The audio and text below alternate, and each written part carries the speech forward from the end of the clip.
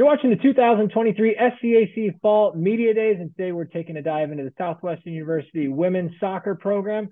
The Pirates will be led as they head into the season once again under the guidance of head coach Linda Hamilton, along with leadership from junior forward Sam Hazen. Coach Sam, thanks so much for joining us today. Thanks, Russell. Coach, we're heading into your ninth year here at Southwestern. And I, am just interested as a head coach, as you get prepared for, for another preseason, what, is that process like for you? I, I, we talking before coming on, it's just every year is unique and you go through it with your team and you and you work and you scrap and you claw and you try to you know battle all the way to the top of the mountain and then every year it, it's a it's a turn the page and fresh and new. How do you process that as a coach? What's the key for you in terms of kind of turning that page and getting ready for a new season yeah, I mean, I think obviously we can get into routines, but you recognize what this is as you come in. I mean, each year you have a team. Um, but in truth, every year it is a brand new team to a degree. Now you have continuity with returners, but again, they are it is a fluid movement um, and i guess you know for me none of that is a surprise so you just really work i think the harder part is that sometimes you don't get to linger and um, you know and some fun things because when one season closes you know you've got to start preparing from that point on for the next season. Um, and so it always feels sometimes that uh, you know get the proper sort of send off to the seniors to really let them know my hope is that they, they've enjoyed their time so that they can come back and and we can um, celebrate as we continue to, and you know, hopefully their teammates continue their legacy. But um, I think for me, it's just it's always an excitement though, a new year, and you know, it, you do have new players coming in, but it's a new team because a lot of your returners make different kinds of changes over the summer or do things differently or evolve or i find that sometimes as they evolve from year to year and they sort of mature and understand things better they're able to prepare each time better. So, um, you know, in this case, our, our, our team really came back prepared this season when we ran the fitness test, which is really meant just to see where they are so you don't kill them in preseason if they're not where you want them to be. You know, the team had a really good uh, success rate and, and did the best we've done as a collective team. So, those kinds of things are really exciting. You just never know what you're going to get because honestly, you're not with them. So my players know I feel like I don't like to gamble at all, which is the worst part for me over summer because I, I plead with them a lot. We we try to encourage them and give them messages to remind them that what they do this summer will directly affect how good they want to be in the fall. And um, they're a really good group. They want to they want to compete, so they recognize that those two go together, and and they're gonna keep working to do the right things. Sam, for you coming into to your junior season, you know, you hear the excitement from coach and kind of that turning of a new page. And, you know, you've been a big part of this program from day one, but, you know, now as an upperclassman, does it feel a little bit different coming into this preseason? Do you see your role at all shifting within this group? And just kind of take me through your mindset and excitement heading into this 2023 year. Yeah, so um, obviously it's now upperclassmen season. So it's been really exciting and fun. And it has definitely been a different mindset coming into the season, um, especially being elected captain by my teammates. That put me in a role to lead my team, hopefully to the su- success that we're hoping to get to this year. So being able to see the captains in front of me lead as a sophomore and as a freshman, and the success we had my freshman year and the kind of let down of a season we had last year and seeing like where we fell short and where we succeeded and being able to see that and come in and kind of form our team in the way that we're hoping to pick up on the shortcomings we had and to capitalize on our successes from past years. So it's been exciting. Coach, we've talked in the past about the, the unique part of the season that is preseason and and trying to build and find chemistry with, you know, as you say yourself, you know, a new team each and every year. You brought in another really solid class of first years this year. I think nine new faces come into this program and, and join a core of, of a lot of returning talent within this team. How do you, as a coach and as a coaching staff, work to to find that chemistry early on in the season? What part of preseason can you use to to really help set that foundation to set this group up to to hit the ground running come September? Yeah, I mean, there's team chemistry both on and off the field. And I guess the first thing is I'm very direct with my team on that, what I want, whether they choose to enact it. But what I want is a team that gets along really well and treats each other respectfully on and off the field. I just think that translates one to being good human beings, but also on that.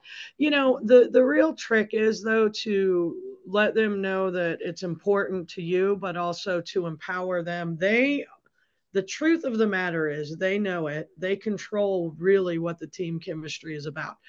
Coach uh, my coaching staff and i we try to do things that can help promote it.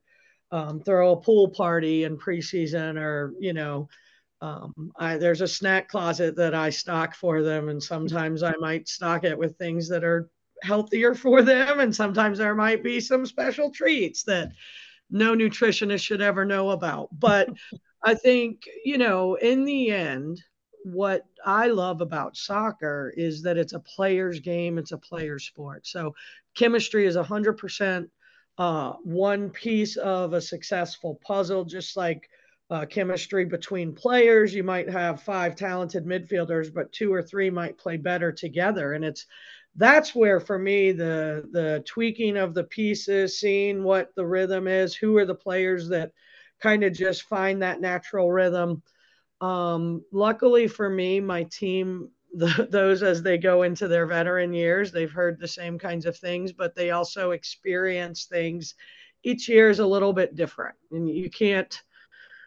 No matter what you do, even teams that repeat or three-peat or do that, their year is always a little different. And I think you know, as as teams evolve, players start to recognize what really helps their team be successful and allow them to enjoy the experience.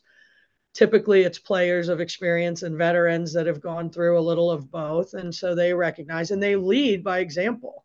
Once you have that, then for me, it's just about maintaining a consistency about what I want, what I want for them, what I hope they can find. And and continue to remind them of their empowerment of how they choose to change and act on things and how they choose to treat each other and they're adults that's a nice thing they they really embrace it and i think they recognize it's a so much better experience you know the the one thing is it's not just about wins and losses i think you know that's where that team chemistry changes things. It's going to be about our journey the whole way. Whether it ends exactly where we want, I think everybody now wants to be on this place where we're excited to see where we can take it. And I think team chemistry comes from great leadership and um, us just hopefully showing a little light to show them the way and and them wanting to to make the most of it.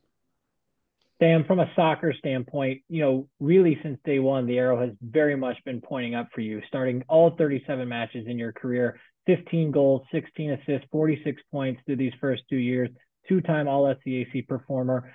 How do you continue to, to keep pushing uh, the envelope when it comes to, to your play on the field as a soccer player? What have you continued to work on, continue to try to grow in your game over the course uh, of the offseason through the summer heading into to your junior year? Yeah, so something that definitely keeps me working hard is my team. So I know that um, it's like on me to like get those goals, and I hope to inspire the girls coming in to work hard and like achieve the same goals as well.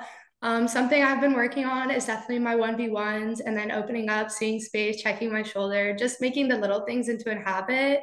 Um, I actually stayed in Georgetown over the summer, and a couple of my teammates did as well. So we'd go out and shoot over the summer, do 1v1s, work on drills, work on free kicks and all that stuff, hopefully, and just getting ready, kind of like refining our love for the game. Cause you know, sometimes that gets lost in the in the training process. So that's something that we're all definitely looking forward to um, this year is finding the love and the fun. And it's definitely come through in this preseason. So it'll be exciting. Coach, uh, one of the things that's been really remarkable to me over the last uh, you know half a decade is the consistency that you've been able to to put forth with this group.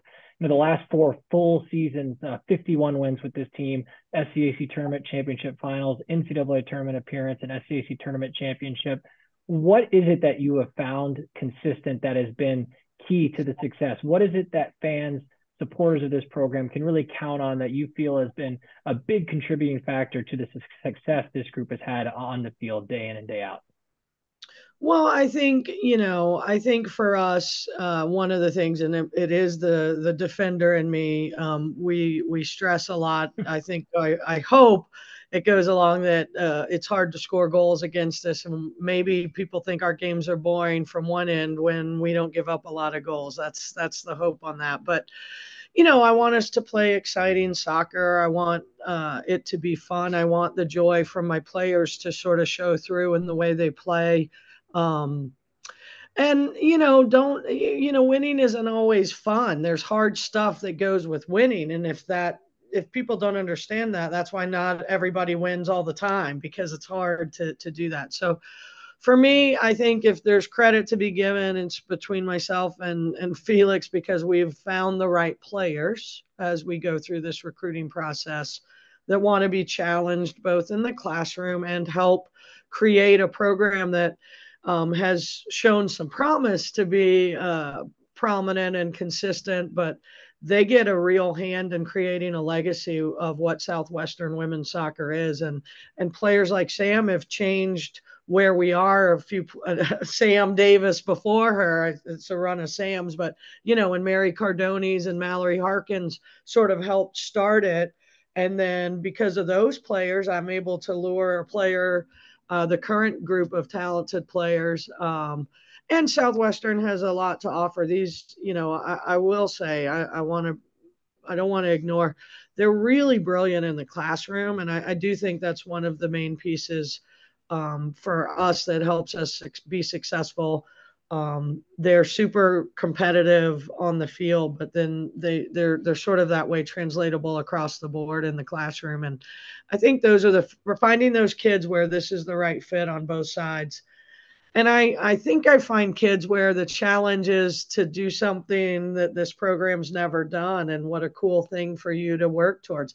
Then knowing that that's something that they can accomplish but it's not going to be easy. And so for to watch them kind of enjoy the process of you know not to be funny but you've been with us since 2015 sam hazen called a 9 5 and 6 season unsuccessful do you remember what we were in 2015 hell I, think- I don't like to talk about the dark year of 2017 but you remember that right yeah I think what's cool is it's not, I, I'm that's not an insult. That's just a, a t- key to where we think our standards should be now, mm-hmm. and where people that have come a few years before her and what she's helping establish that we really want to keep trying to be better and better, and that um, finding players where that's a natural instinct is fun because the competitor in me does nothing but poke the bear in them to really see what they can do. And and I think it's fun to watch them embrace the process. And honestly I like that we're we're still having to climb. We've made some we've made it there occasionally but we're not there consistently. And now that challenge to get that consistent performance so that we're there year after year after year um, I think that's fun to watch my team continue to evolve. And as our talent gets better, our work rate gets better, and everything keeps improving. And it and it's fun to to watch them grow over the course of their time. And Sam, finally wrapping things up with you, as you listen to Coach talk about the standard being raised and you being a part of of a group and a core of players that continue to push that standard higher and higher when you've had conversations with your teammates in preseason coming into this year about some of the goals and things that this group wants to accomplish, what have those conversations looked like and what will be key for this group to, to go out and, and, and making those dreams reality, you know, heading into this year? Yeah, so one of the first things that kind of brings both of your questions together is we really want our team to be a team this year. That was something we felt we were lacking last year. Um, it just felt like you couldn't rely on the people around you, and that was something we were missing. And that's first and foremost, like we want our team to be a family and we want our players to put the team before self. And that's something we're really, really aiming to do this year. Um, and hopefully that'll help lead us to a ring season, just like my freshman year. So we're hoping to get back there. But all in all, we're hoping just to build a good um, base to keep climbing on. Um, we are losing only just two or three seniors. So it'll be good. This will be a good stepping stone year for sure to hopefully set us up for even more success. Hopefully, my senior year if we have a few shortcomings this year, but we definitely want to build um, our team camaraderie first and foremost. Southwestern University Pirates women's soccer program. Again, the Pirates heading into the season under the guidance of head coach Linda Hamilton, along with captain, junior forward Sam Hazen. The Pirates open up the season when they take on Virginia Wesleyan September 1st. Coach Sam, thanks so much for your time today and best of luck as you head into the year. Thank, Thank you very you. much.